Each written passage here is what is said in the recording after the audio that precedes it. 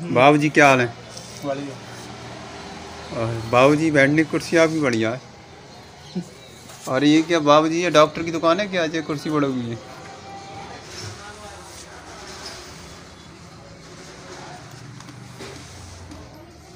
तो हाँ भाई साहब अपनी दुकान पे क्या क्या मिलता है? सब कुछ मिलता है। कोट पैंट पैंट शर्ट टोबर टी शर्ट और? सब चीज़ बच्चों कपड़े। यार टाई वगैरह? सब कुछ। ये लोकेशन है। बंडी है ये। ये बंडी है ये कोट है ये डब्बे वाली शर्ट आएगी